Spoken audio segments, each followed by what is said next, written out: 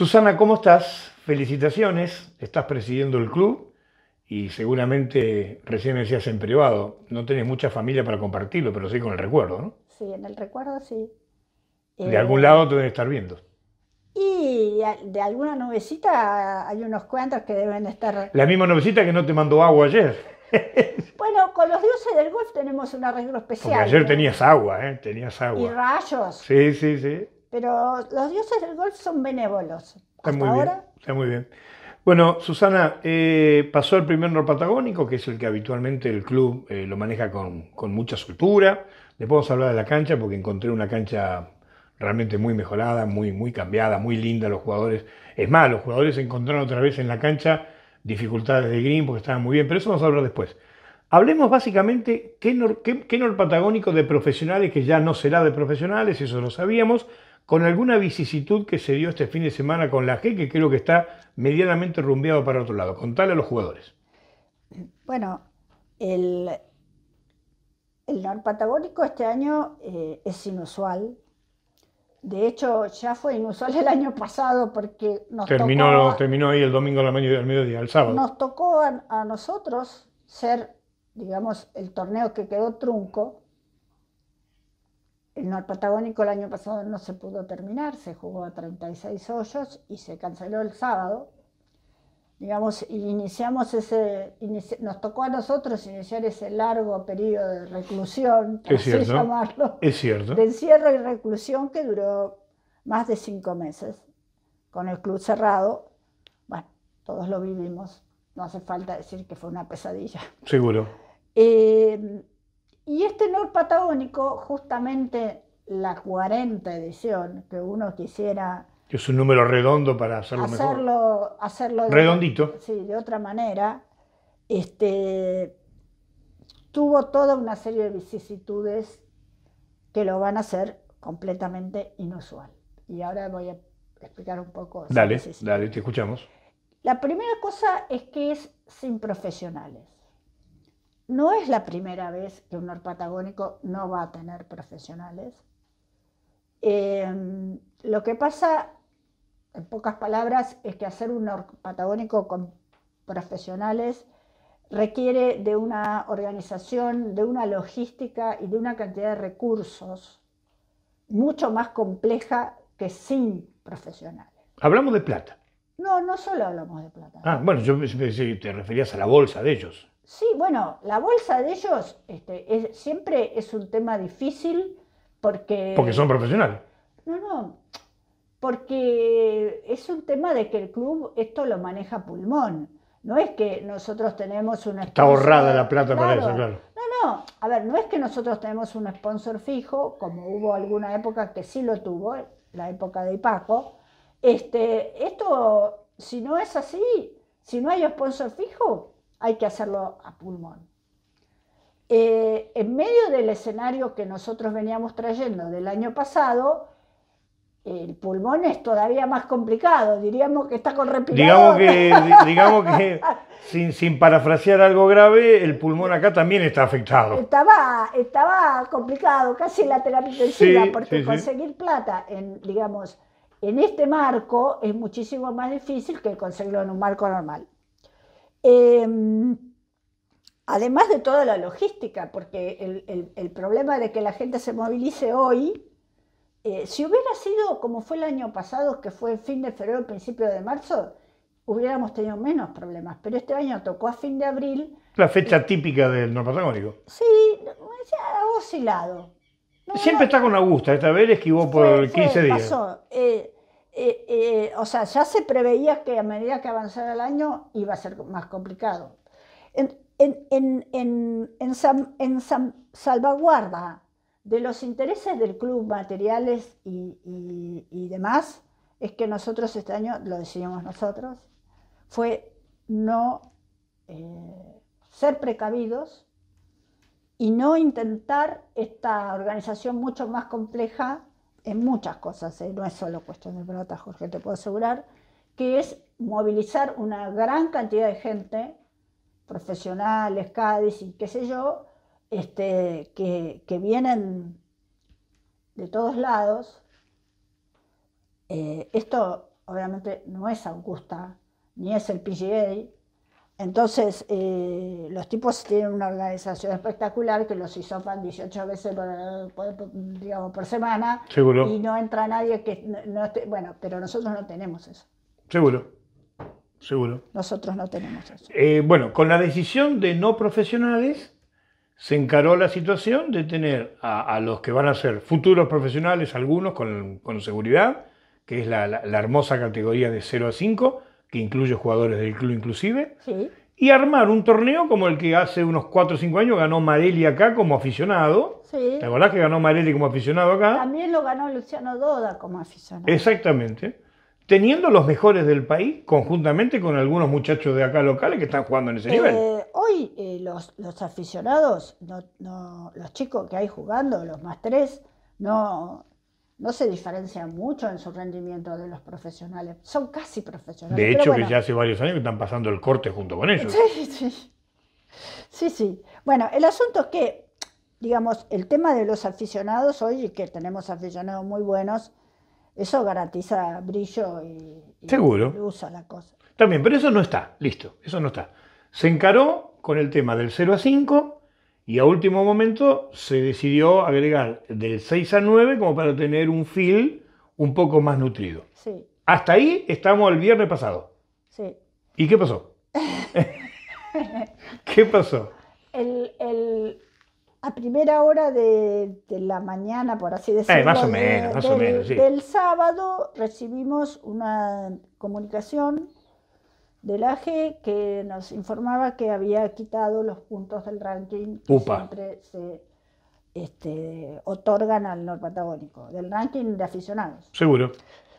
Eh, bueno, el verdadero premio, más allá de la historia y la gloria, los para. aficionados acá vienen por el ranking. Claro. Em, No, la chapa también, ¿eh? No, por supuesto, pero, pero ellos La chapa está, está con el punto también. están, digamos, juntando puntos para el ranking, porque eso a ellos también los beneficia. Bueno, así que ese fue el escenario del sábado, nos tuvo un poco ocupados. Y preocupados, y preocupados. Ocupados, preocupados, este, bueno, en fin. Eso, eso, a ver, no, no, no creo que diga nada que no corresponda. Eso automáticamente hizo peligrar la cantidad de jugadores externos. Sí, porque al sacarle los puntos del ranking, hay mucha gente que no encuentra el motivo para venir. Sobre todo los que vienen de muy lejos o bueno, o tienen que... El viaje... A ver, en el, en el marco de la pandemia, hoy todo se vuelve complicado. Tomar un avión se vuelve complicado, ir a... Compartir un departamento. O sea, todo es complicado. Eh, entonces la gente, si no hay puntos, lo va a pensar dos veces. Seguro. Bueno, ¿cómo lo resolvimos? Como siempre, a pulmón. Este, la AG nos pasó la lista de los jugadores que estaban anotados. Hemos hablado con ellos. eh, ¿Te habló la G como presidenta? Sí, hoy a la mañana. Bueno, no es un dato menor No. que el presidente Hablamos John- con el que presidente. John Gon te haya llamado. John Van, este, hablamos y me explicó el motivo por el cual tomó esa decisión. Se hizo responsable de la decisión y él priorizó, no, o sea, en ningún momento está en duda el, el- el contexto seguro que ofrece el Club de Golf Paligüe para, para la realización de cualquier evento. Es decir, ellos no ponen en tela de juicio eso. El club no está en juicio. O sea, saquemos el club. El problema es la ida y la vuelta y todos los contactos que los jugadores pueden tener por fuera del club. Correcto. Eh, y en, allá están, está muy atemorizada la gente ahí en, en Cava y en el AMBA y en otros lados. O sea, las noticias son bastante de susto y mm, él sintió que no podía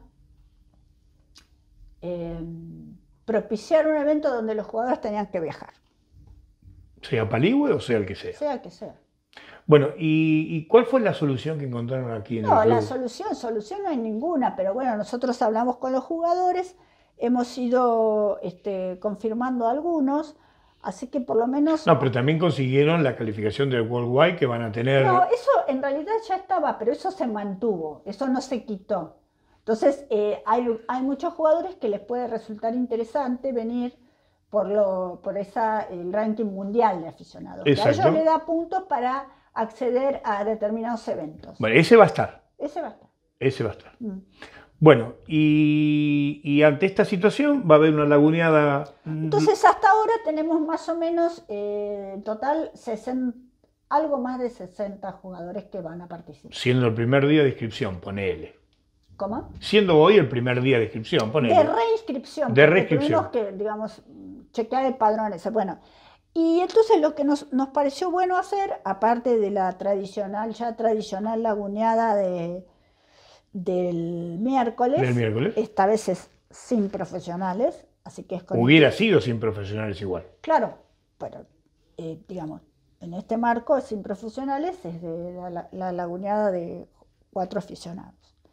Y lo que decidimos hacer, sí, esto es novedoso, para el, el- el fin de semana, aparte, digamos, de los 72 Te hago una pregunta técnica que es muy factible que no la sepas porque creo que no está resuelto. A ver, Lo que- no, porque es un- no es un dato menor en lo deportivo. Yo sé que vos te fijas mucho en eso.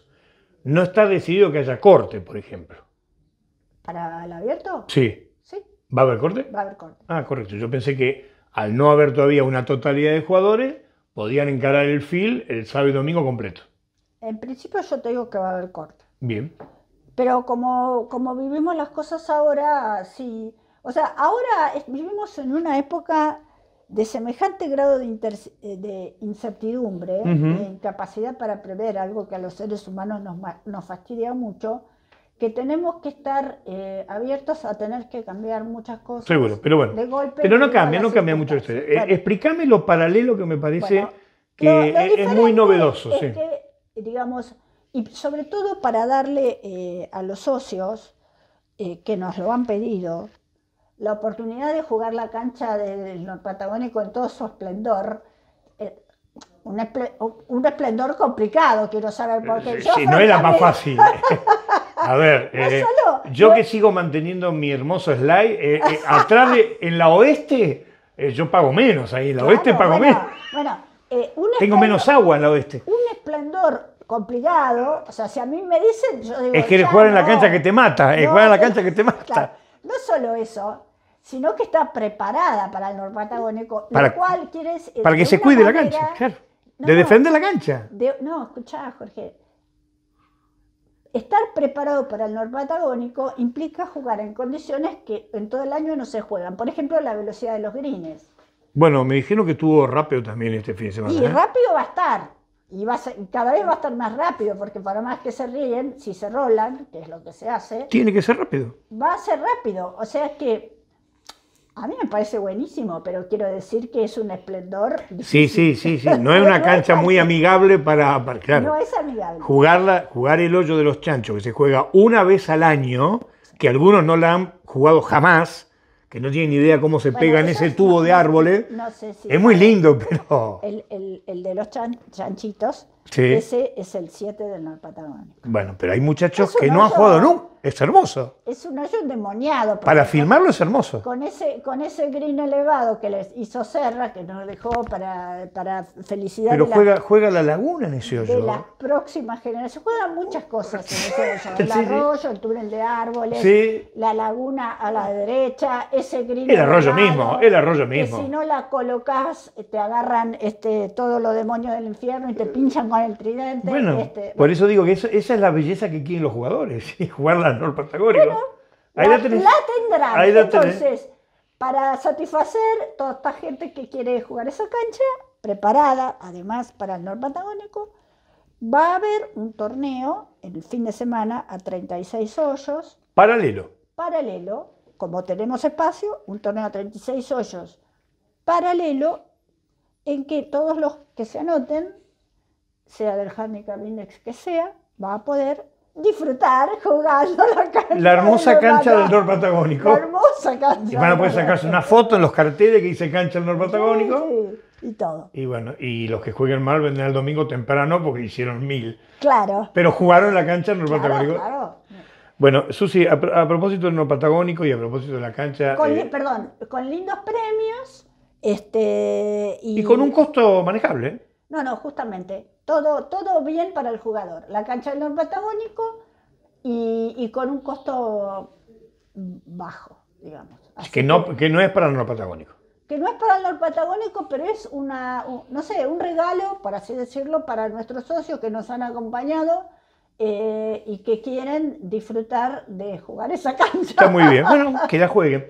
Eh, no quiero hacerte perder tiempo, hay muchas cosas para hablar, para Sí, preguntar y sé que Virginia, la idea es que esté presente en alguna nota junto Sí, con sí, nosotros. yo quiero que venga ya. Bueno, pero yo quiero aprovechar porque esta semana va a ser... muy- Es más, estoy viendo que ya están bajando cosas de la G. Llegaron los carritos. Llegaron los carritos y algunas cosas más.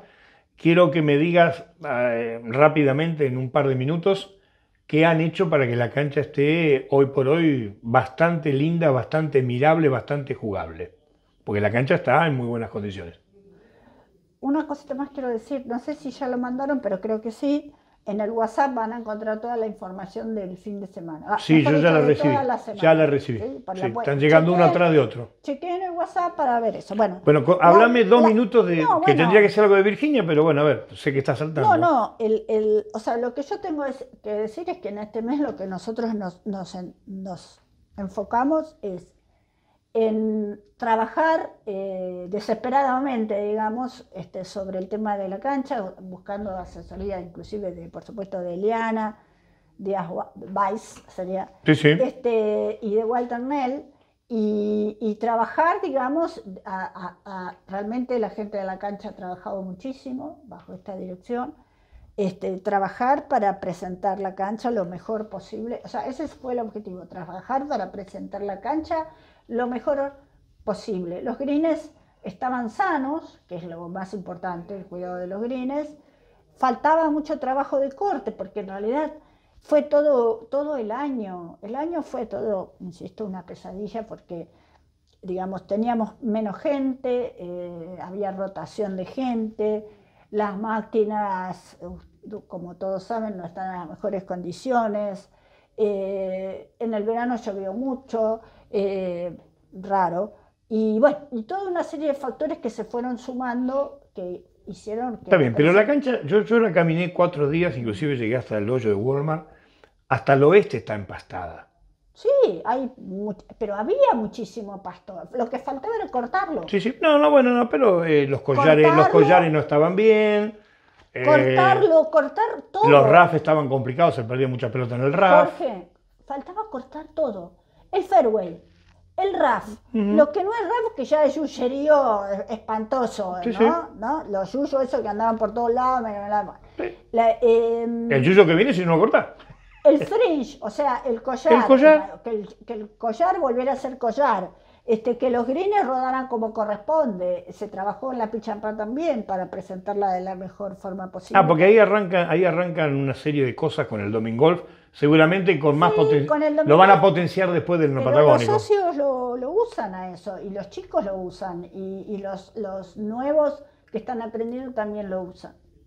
Entonces Bueno. creo que hemos llegado a un estado bueno de presentación de la cancha, insisto, gracias al trabajo de, la, de nuestra gente, de los asesores, de Virginia, que creo que en cualquier momento se viene con la carpita a vivir acá, este, y, y sí, y bueno.